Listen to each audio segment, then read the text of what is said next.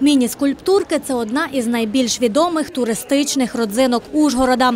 Першим був Миколайчик, якого відкрили ще взимку 2010-го. Знаходиться він на площі Театральній. Незабаром встановили найменшу в світі статую свободи. Зараз у місті уже 35 міні-скульптурок. Без них не обходиться жодна екскурсія Ужгородом. Туризмознавці навіть створили спеціальний маршрут цими пам'ятниками і доповнили ним туристичний путівник міста. Цей маршрут розширився на інші міста Закарпаття і інші держави. Ну, наприклад, із міні-скульптур виокремився окремий проект. Це Швейк.